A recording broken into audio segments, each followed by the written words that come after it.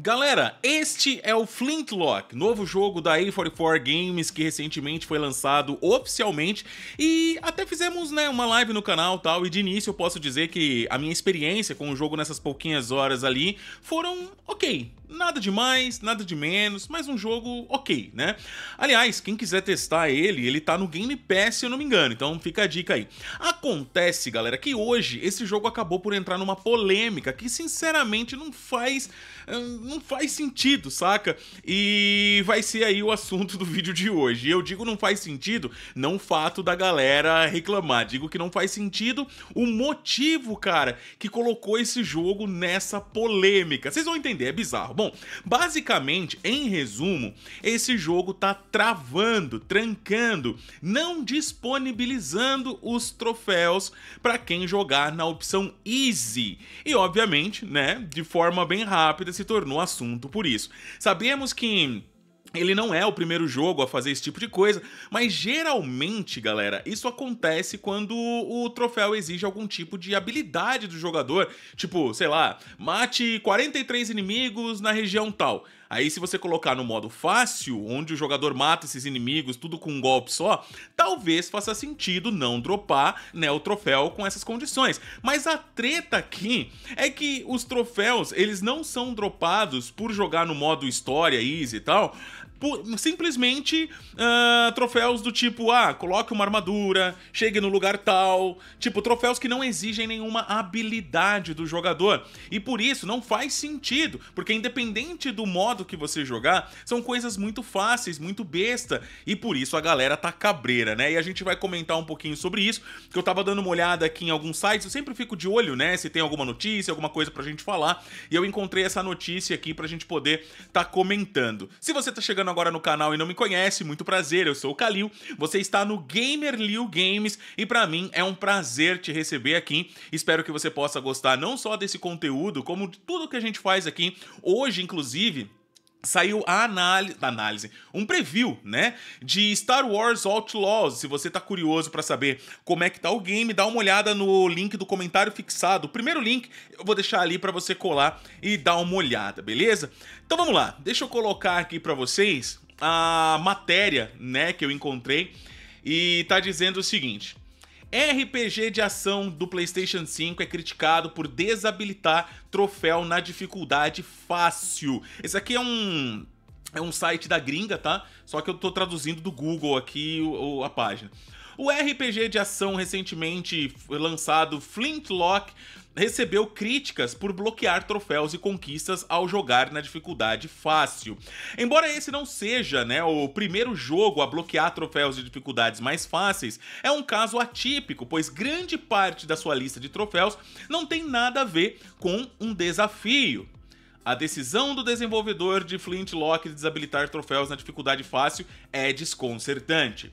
A primeira vez que me deparei com um caso de troféus bloqueados na dificuldade fácil foi quando eu joguei Fury em 2016, mas faz sentido, porque toda a lista de troféus do Fury foi criada para testar as habilidades do jogador, e isso eu acho ok, né? Bom, Flintlock, por outro lado, parece bem bobo, bloqueando toda a lista de troféu fora da dificuldade é, Story, quando recompensa os jogadores por comprar, sei lá, uma habilidade atirar aleatoriamente com uma arma em uma loja, morrer, trocar de roupa e pegar alguns itens colecionáveis, entre outras coisas. Nenhum desses troféus requer habilidade pro, e pode ser desbloqueado por uma criança. No entanto, por algum motivo, a A44 Games acredita que as pessoas que jogam no modo história devem ficar presas em uma dificuldade mais difícil durante toda a campanha do jogo se quiserem ser reconhecidas por completar as tarefas extremamente desafiadoras listadas acima. É, a pessoa está sendo sarcástica aqui, né? Bom, Esperamos que isso não se torne uma norma, né? Que isso não aconteça sempre. Troféus relacionados à dificuldade ou criar listas de troféu inteira em torno de desafios é uma coisa. Desabilitar uma lista de troféus sem motivo é outra coisa. Os desenvolvedores não devem ter um motivo de dificuldade fácil em seus jogos, senão é assim que eles querem que os jogadores vivenciem as campanhas. Olha aí, né? Já viu onde o, o que, que deu essa treta, né, galera? Então, assim, imagina que você tá jogando, sei lá, Bloodborne e exista um troféu que pede para você chegar no nível máximo do personagem, beleza? Agora imagina que esse espertinho vai lá e faz aquele glitch de nível. Se o jogo conseguir identificar que o cara não chegou no nível final na raça e resolver bloquear o troféu dele, é compreensível, penso eu, né? Agora imagina que no mesmo jogo exista um troféu onde você ganha simplesmente se você chegar na praça central ali, que é uma região do jogo. Mano, bloquear esse troféu para quem jogar num suposto modo easy, caso o jogo tivesse um, não faria sentido, porque independente do modo que o jogador for escolher jogar, ele chegaria ali de qualquer forma, tá ligado? É essa treta. é isso que tá rolando. Tendo em vista que já existe uma baita comoção quanto àquele assunto de colocar modo easy nos jogos da From, né? Agora nós temos aí um novo capítulo que é bloquear troféus quando o jogador resolver curtir no jogo, no modo, né, mais fácil e tal. Detalhe, troféus que não exigem qualquer tipo de habilidade, como por exemplo, vestir um traje lendário e tal, né? Galera, eu acho que eu nunca comentei né, sobre isso aqui no canal com vocês. Não sei se eu lembro, né, eu, não, eu, não, me lembro se eu fiz algum vídeo e tal. Mas eu, por exemplo, quanto ao modo easy nos jogos tal, eu sou super a favor desde que esses jogos não sejam jogos onde o core do negócio é te desafiar, como por exemplo jogos da From Software, né? Eu não vejo um modo easy pra Bloodborne, Sekiro, Elden Ring, Dark Souls e tal, porque são jogos é, em que você já sabe desde o início que foram feitos para que o jogador, né, supere os seus limites. Foi feito para você estudar, morrer uma porrada de vez até entender a mecânica de um boss, por exemplo. Então meio que a fórmula do negócio para esses jogos é a dificuldade. A graça tá nisso. Então eu não vejo para esse tipo de jogo, né, você colocar um modo easy e tal. Agora, em jogos onde a proposta não é essa, eu não vejo mal nenhum. Todavia, esse lance de troféus eu achei um pouco bizarro para falar a real para vocês. Se fosse, como a própria pessoa comentou aqui, né, um lance de você ter desafios para poder concluir o troféu, aí faz sentido. Mas não foi o caso aqui, né?